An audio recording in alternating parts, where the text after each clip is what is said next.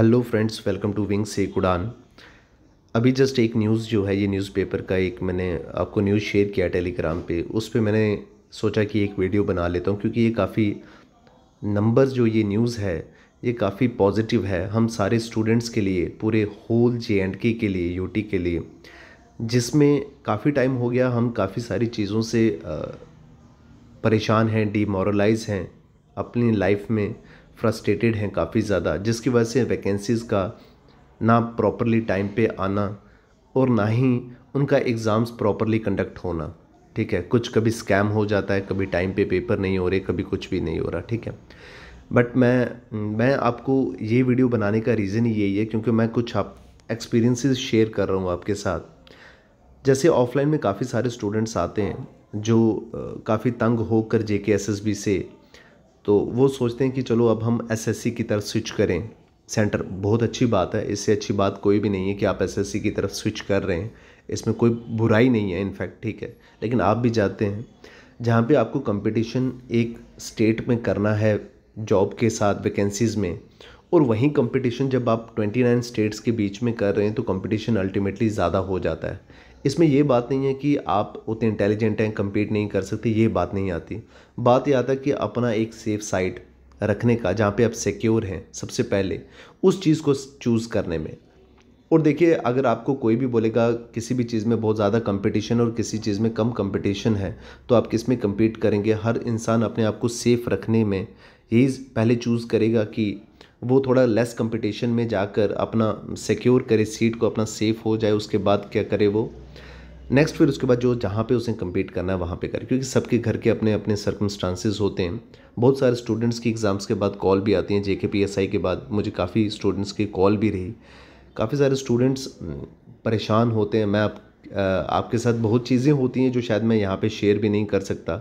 But उनका paper exam देने के बाद रिज़ल्ट देने के बाद इतना डीमोरलाइज हो जाते हैं वो। कुछ स्टूडेंट्स रोते हैं अपने घर के सर्कमस्टांसिस को लेकर, कुछ भी रीज़न रहता है।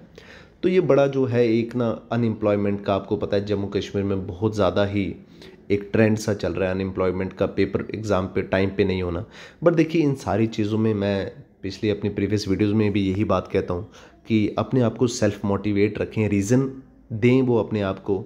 जिससे आपका ब्रेन आपको बोले हाँ ये एक पॉजिटिव रहने की चीज़ें हैं। देखिए, हमारी नॉर्मली ग्रेजुएशन हो जाती है ट्वेंटी वन या ट्वेंटी टू ईयर में, बट इसमें काफ़ी सारे स्टूडेंट जो थर्टी टू ईयर्स तक भी हैं, thirty three years, thirty four year तक भी हैं, जो अनएम्प्लॉयड हैं। रीज़न यही है क्योंकि उनको गवर्नमेंट जॉब चाहिए। ये रीज़न है एक, ठीक है? जम्मू कश्मीर इतना प्राइवेट सेक्टर का बूम नहीं है कि मैं आपको बोलूँ, बट हम ये भी प्रेफर करते हैं कि जम्मू में अपने घर में रहें और जॉब भी हमें गवर्नमेंट मिले। ये चलो एक सबका रहता है कि हमें अपने घर पे रहे और जॉब भी हमें गवर्नमेंट मिल जाए तो इससे अच्छी बात कोई है भी नहीं। और ओबियसली ये है भी नहीं है कोई बात, ठीक है? बट इस रीज़न पे सारी बात ये है कि आपको अपने आप को मोटिवेट रखना है ना। कोई आपको मोटिवेट नहीं करेगा। यहाँ पे जब भी स्टूडेंट आता है, मैं उसको बोलता हूँ कि भाई मोटिवेट होने के सबके अपने अपने रीज़न होते हैं।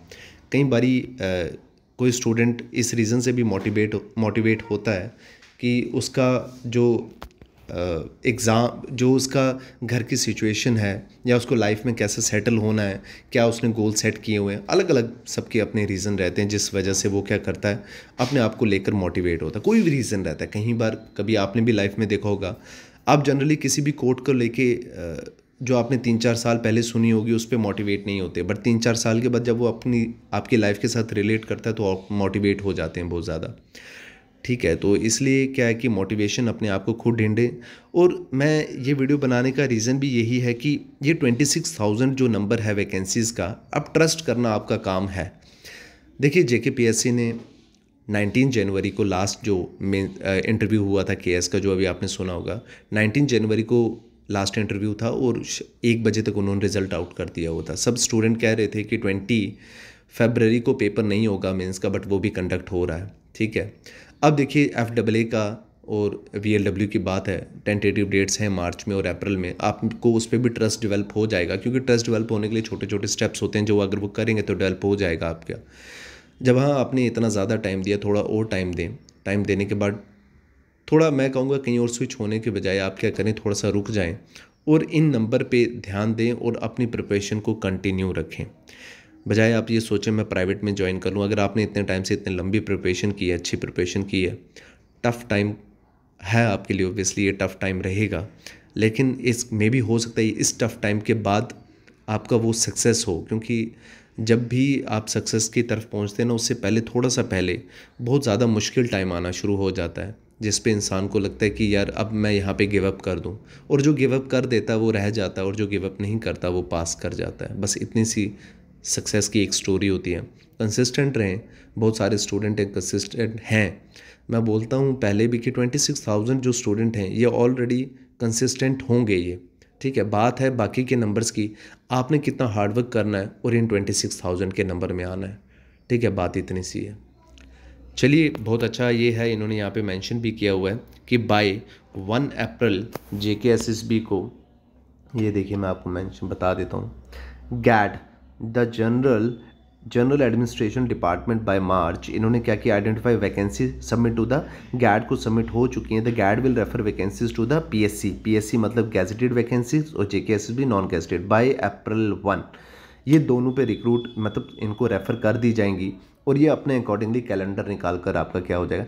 इस साल में भी हो सकता है बहुत अच्छी चीज़ें हो जाएँ जहाँ आपने इतना वेट किया। इस साल और वेट करें और अपने एग्ज़ाम्स की प्रिपरेशन कंटिन्यू रखें। ठीक है? मेरी इतनी सी बात थी। थैंक यू सो मच मिलेंगे नेक्स्ट वीडियो में। बाकी अगर आपको कुछ भी रहेगा कमेंट में ज़रूर आप काफ़ी सारे पॉजिटिव कमेंट्स भी देते हैं नेगेटिव कमेंट्स भी देते हैं। हमें समझ आता है, ऐसा नहीं है। हमने पहले आपका यूट्यूब में काफ़ी साथ दिया, ठीक है? हमारा ऑफलाइन और ऑनलाइन ऑफलाइन में आने का भी रीज़न ये था, काफ़ी सारे स्टूडेंट्स थे। ऑनलाइन में शायद हम दोबारा स्टार्ट करेंगे, ज़रूर स्टार्ट करेंगे ताकि आपको वैसे दोबारा हेल्प रहे। और इनफैक्ट हम अपनी टेस्ट सीरीज़ पे ऑनलाइन के कोर्सेज़ पे काफ़ी ज़्यादा वर्क कर रहे हैं। आप देख भी सकते हैं, जाकर हमने कुछ कंटेंट फ्री भी रखे हुए आप उसमें जाकर अटैम्प्ट भी कर सकते हैं। फ्री ऑफ़ कॉस्ट के अटैम्प्ट हैं, बाकी आपकी मर्ज़ी है। जहाँ भी आप अटेंड करें, जहाँ भी आप, क्योंकि हर कोई अपनी अपने लेवल पर मेहनत कर रहा है, ठीक है? अटैम्प्ट कीजिए प्रिपरेशन कंटिन्यू कीजिए, कोई भी प्रॉब्लम आया कमेंट में आपके पॉजिटिव और नेगेटिव दोनों कमेंट्स हम खुले हाथ से लेते हैं और उस पर वर्क भी करते हैं। तो शायद थोड़ा टाइम लग जाएगा आपको देखने में बट हम वर्क कर रहे हैं उस पर ठीक है? तो मिलते हैं नेक्स्ट वीडियो में. Till then take care bye bye thank you so much